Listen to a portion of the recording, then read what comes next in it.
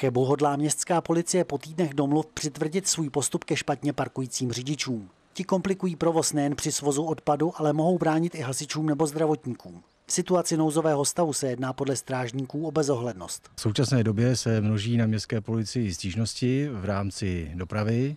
Bohužel je to po celém chybu. Stížnosti jsou jak od občanů, tak samozřejmě i od zaměstnanců města Chebu v rámci firmy Chetes, kdy neohleduplní občané stěžují parkování, stěžují firmě Chetes k vyvážení odpadů komunálního.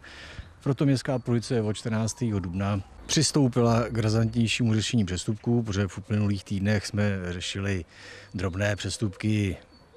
Strážníci dávali za okýnka smajlíky, které se nesmějí a žádali jsme tam i tímto ty neohluplný řidiče k tomu, aby parkovali správně. Bohužel tohle přišlo v ní več, takže jsme přistoupili k razantnějšímu postupu dle zákona. Kromě zahájení řízení může v některých případech dojít i k odtažení vozidla. Co se týká nošení roušek a zákazu zhlukování, je situace až na výjimky podle městské policie dobrá. Co se týče tady situace, tak můžu říct, že z 90 až 95% tak občané dodržují tyto opatření, ale bohužel máme ty nepřizpůsobivé občany, kteří bohužel tady to opatření nedodržují. Zejména se jedná ve městě Chvu pěší zóna, krajiná výstava, tam, kde se prostě zlukují více občanů. I městská policie musela přijmout určitá opatření, která se zatím osvědčují. Smůlu mají zatím připravující se psovodi, kteří nemohli být nasazeni. Zaplať pán Bůh, tak městská policie zatím nemá ani jednoho strážníka v karanténě a ani jednoho nakaženého.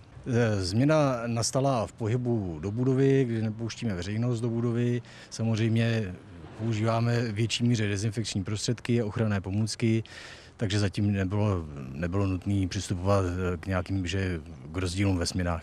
Psohody máme, Existujeme, bohužel v rámci tady toho nouzového stavu, tak policejní prezidium zakázalo zkoušky, a takže čekáme, až se to uvolní a hned budou proskoušení. Já doufám, že splní samozřejmě na výbornou a budou okamžitě nasazeni do výkonu.